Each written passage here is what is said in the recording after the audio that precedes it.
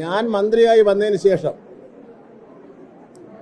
S S L C പരീക്ഷാ ഫലം പ്രഖ്യാപിച്ചു കഴിഞ്ഞാൽ അന്ന് മുതൽ മലബാറിലെ സീറ്റ് കുറവാണെന്നുള്ള മുദ്രാവാക്യം സ്ഥിരമായി ഉണ്ടായിക്കൊണ്ടിരിക്കുന്ന കാര്യമാണ്. എന്നാൽ ഒന്നാമത്തെ അലോട്ട്മെന്റ് രണ്ടാമത്തെ അലോട്ട്മെന്റ് മൂന്നാമത്തെ അലോട്ട്മെന്റും കൂടെ കഴിഞ്ഞാൽ ആ പ്രശ്നത്തിന് പരിഹാരം കാണുന്ന സ്ഥിതിവിശേഷമാണ് കഴിഞ്ഞ വർഷം വരെ ഉണ്ടായിട്ടുള്ളത്. എസ് എസ് എൽ സി പരീക്ഷ പാസ്സാവുന്നവർ പ്ലസ് പ്ലസ് ഒന്നിന് മാത്രമല്ല ചേരുന്നത്. കഴിഞ്ഞ വർഷം മറ്റ് ഐ ടി ഐ കോഴ്സുകൾക്കും പോളിടെക്നിക് കോഴ്സുകൾക്കും വൊക്കേഷണൽ ഹയർ സെക്കൻഡറി കോഴ്സുകൾക്കൊക്കെ ചേർന്നതിന്റെ കണക്കെന്റെ ഉണ്ട് ഞാനിപ്പോൾ ആ കണക്കെടുത്തുകൊണ്ട് വന്നിട്ടില്ല. അതെല്ലാം ഇതിൽ നിന്ന് പോകുന്ന കുട്ടി കുട്ടികളാണ്. അതുപോലെ സ്കോൾ കേരള നടത്ത നടത്തുന്ന പിന്നെ കോഴ്സുണ്ട്. ആ കോഴ്സിനും ഏറ്റവും കൂടുതൽ കുട്ടികൾ ചേർന്ന മലപ്പുറം ജില്ല ജില്ലയിൽ നിന്നാണ്. അപ്പോൾ ഇപ്രാവശ്യം ഞങ്ങൾ ഒരു കാര്യം കൂടി ചെയ്തത്. കഴിഞ്ഞ വർഷം പിന്നെ സീറ്റുകൾ ശതമാനം വർദ്ധിപ്പിച്ചു. ബാച്ചുകൾ പുതിയ ബാച്ചുകൾ ആരംഭിച്ചു. അതെല്ലാം കൂടെ ചേരുമ്പോൾ ഒരു വലിയ നമ്പർ വന്നായിരുന്നു.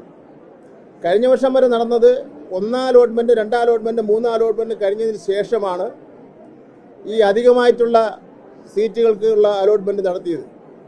ഇപ്രാവശ്യം അധികമായി അനുവദിക്കപ്പെട്ട സീറ്റും കൂടെ ഉൾപ്പെടുത്തിക്കൊണ്ടാണ് ഒന്നാം അലോട്ട്മെന്റ് തന്നെ നടത്തിയിട്ടുള്ളത്. ഇവിടെ ഒന്നാം അലോട്ട്മെന്റ് നടത്തുന്നതിന് മുമ്പ് തന്നെ മലബാറിലെ ക്ഷാമമാണെന്നുള്ളതിനുള്ള നിലയിലുള്ള പ്രചരണം നടത്തുകയാണ്. ഒരു കാര്യം ഞാൻ വ്യക്തമാക്കാം. ആവർത്തിച്ച് വ്യക്തമാക്കുകയാണ്.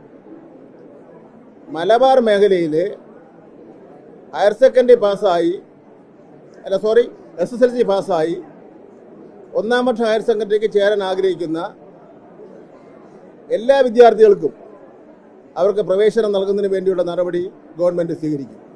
അതിനുവേണ്ടി ഇനിയിപ്പോൾ ആവർത്തിച്ച് ആവർത്തിച്ച് അത് പറഞ്ഞുകൊണ്ടിരിക്കേണ്ട ഒരു കാര്യമില്ല എന്നുള്ളതാണ് എനിക്ക് അതിനെ സംബന്ധിച്ചുള്ള സൂചിപ്പിക്കുകയാണ്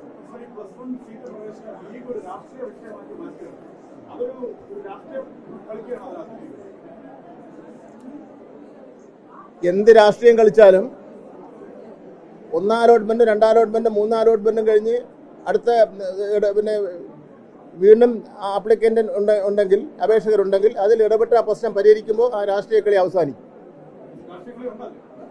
അല്ലെങ്കിൽ പിന്നെ ഒന്നാം അലോട്ട്മെന്റിന്റെ പിന്നെ ലിസ്റ്റ് പ്രസിദ്ധീകരിക്കുന്നതിന് മുമ്പ് തന്നെ സീറ്റ് കുറവാണെന്ന് പറഞ്ഞാൽ ഞാൻ ഞാൻ റിസൾട്ട് പ്രഖ്യാപിച്ച അവസരത്തിൽ ഓരോ ജില്ലയ്ക്കുള്ള ടോട്ടൽ സീറ്റ് ജയിച്ച കുട്ടികളുടെ എണ്ണമൊക്കെ തന്നെ പറഞ്ഞതാണല്ലോ. ചെറിയ വ്യത്യാസം മലപ്പുറം ജില്ലയിലുണ്ട്. വരുന്നുണ്ട്. അത് പരിഹരിക്കപ്പെടും.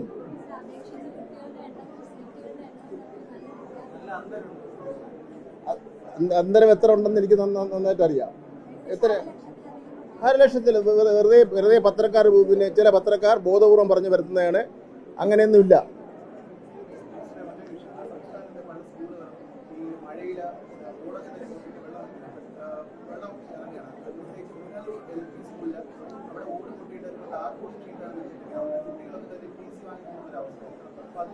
ഈ നമ്മുടെ നിങ്ങൾക്കറിയാലോ നമ്മുടെ കേരളത്തിലെ പൊതുവിദ്യാലയങ്ങളുടെ പ്രശ്നങ്ങളിൽ ഗവൺമെന്റും നാട്ടുകാരും പി ടിയും പഞ്ചായത്തും ഒക്കെ തന്നെ ഇടപെട്ടുകൊണ്ടിരിക്കുകയല്ലോ ഏതെങ്കിലും ഒരു സ്കൂളിൽ പതിനാലായിരത്തോളം വരുന്ന സ്കൂളുള്ളതിൽ ഏതെങ്കിലും ഒരു സ്കൂളിൽ അങ്ങനെ ഒരു പ്രശ്നം ഉണ്ടെങ്കിൽ അത് സ്കൂൾ തുറക്കുന്നതിന് മുമ്പ് തന്നെ അവിടുത്തെ നാട്ടുകാരും പി ടിയിലും ഇടപെട്ട് പ്ര- പ്രശ്നത്തിന് പരിഹാരം കാണും.